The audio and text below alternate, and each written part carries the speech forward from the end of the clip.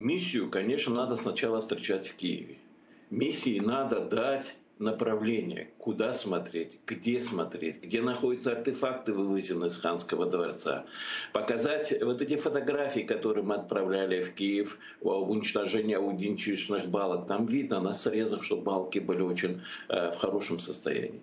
Э, нужно показать э, ту конструкцию, так называемую защитную конструкцию, которую они сделали из пленки над ханским дворцом, а ветер потом его уничтожил, и вся вода, э, снег, э, град, это все э, проходило во внутренние помещения. И сегодня мы видим о том, что там произошли трещины. Мы должны указать на проектные ошибки, не ошибки даже, а вот проектный такой вандализм, который есть вот в этом проекте так называемой реставрации, которую сделала так называемая фирма Керамет, а которая до 2014 года абсолютно была в Крыму неизвестна как реставрационная компания. То есть мы должны дать направление этой миссии. И эта миссия должна знать, куда идти, и что смотреть, и на что обратить внимание. Потому что я не думаю, чтобы у нее было очень много времени, и чтобы она могла разобраться на всем этом. Надо показать тот бетон, который есть на э, памятнике 16 века. Понимаете, это там столько э, наворочено, что, честно сказать, э, очень сложно э, за несколько дней это все найти. Поэтому какой-то круглый стол надо сделать в Киеве. Я думаю, пригласить специалистов. Пригласить и тех, которые сегодня в Крыму, которые могли бы об этом рассказать. А как вы оцениваете действия украинских властей, вот, непосредственно Министерства культуры, по решению этого вопроса? То есть Евгений Нищук нам сейчас э, рассказывал о том, что идут переговоры. Считаете ли вы, что они достаточно интенсивно идут?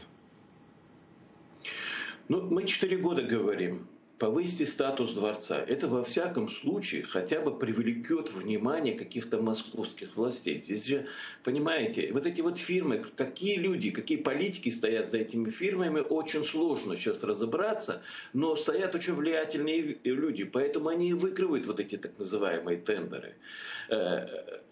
Я не видел в Ханском дворце при реставрации, вот проведении реставрационных работ первого этапа ни одного профессионального реставратора. Понимаете? Там были инженеры, там были э, какие-то знатоки, так сказать, э, современных материалов, но там не было реставраторов. Там не было профессиональных архитекторов. И сейчас вот проходят археологические э, э, раскопки, а там всего один-два э, специалиста. А все остальное нанятая дешевая рабочая сила, которая в принципе просто копает просто копать, не фиксируя. Я понимаю, что они для отчета что-то там фиксируют, э, для э, того, чтобы показать, иначе это вообще невозможно.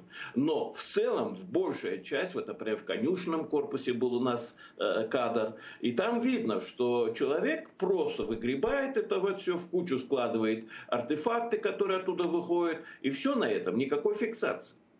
А что мы будем говорить завтра? Историки на что будут опираться, когда будут э, писать какие-то исторические свои труды? Э, с точки, ну, в Крыму э, активно идут археологические работы, это не только на территории Ханского дворца, и с точки зрения Украины весь этот процесс незаконный.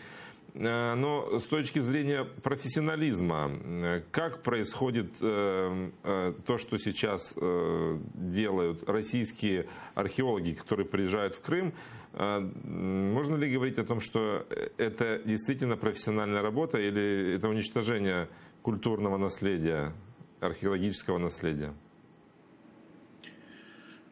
Ну, я не слышал, чтобы из-за того, что нашли какое-то там, э, какие-то артефакты, какие-то археологические находки, чтобы дорога изменила свое, э, свое направление. Она все равно проходит по, этой, э, по этим вот раскопкам. А, их вот так вот фиксируют, как мы сейчас видим, и все. То есть там есть же и период и скифский, там есть период и мусульманского Крыма Более того, это те э, места, которые в принципе невозможно было скрыть, которые были раньше известны. Мы не знаем, что происходит в других местах, где в принципе э, трасса проходит и строители могут даже не остановиться, а продолжать работу, потому что вот шурфирование всей этой трассы, она не прошло. Ведь прежде чем начать эти работы, они начали вот как в Советском Союзе, строят БАМ, и все начали э, приезжать строители и начали строить. А ведь для того, чтобы начать работу, нужно было сначала сделать шурфирование всей трассы и проверить вот эти все места, и э, изменить, возможно, трассу.